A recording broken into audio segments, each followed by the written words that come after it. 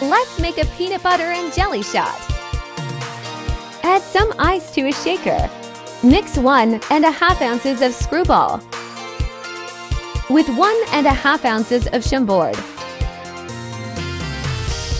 Shake until cold. Serve each shot with a mini sandwich. Cheers!